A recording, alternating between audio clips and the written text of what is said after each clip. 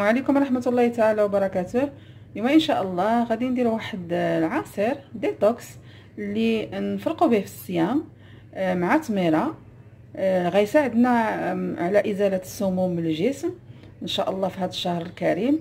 فأنا كنصح به أي واحد بغى ينقص من الوزن أو بغى يحيد السموم المتراكمة ديال العام كامل اللي كناكلوه في الخبز وفي النشويات والحلوى وهذا العصير راه كيزول وكيساعد باش ينقي الدم ديالنا وغتحسوا إن شاء الله بالراحة ملي غتشربوه وكذلك منعش حيت غادي ندير فيه النعناع وغادي تشوفوا معايا المكونات وطريقة التحضير.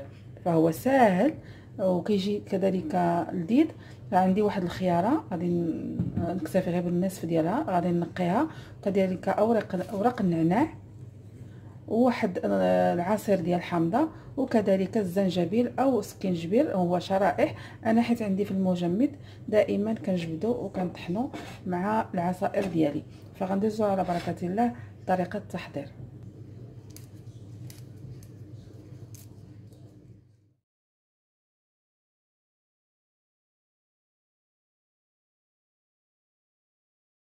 ندير عصير الحامض. غادي ندير نعناع ندير سكينجبير وغادي ندير الخيارة. أو نصف خيارة. تقدروا ديروا آه، شحال ما بغيتو. أنا غنكتفي غير بهذا القدر هذا. غنزيد الماء.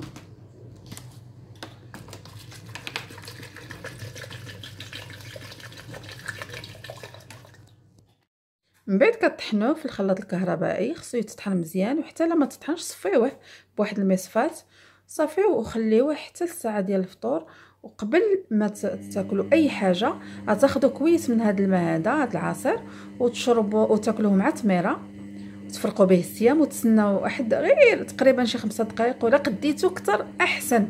صليو الصلاة ديالكم وديك الساعة تكملوا الفطور وغتشوفوا إن شاء الله بإذن الله بإن الحالة ديالكم ولات كلها حيوية ونشاط وما غتحسوش نهائيا بالعطش فإذا عجبتكم هذه الوصفة تقسموها مع الأهل والأحباب ديالكم لتعم الفائدة وضغطوا كذلك على الجرس ليصلكم كل جديد واشتركوا في القناة والى وصفة قديمة إن شاء الله وإلى فيديو قادم إن شاء الله ومع السلامة.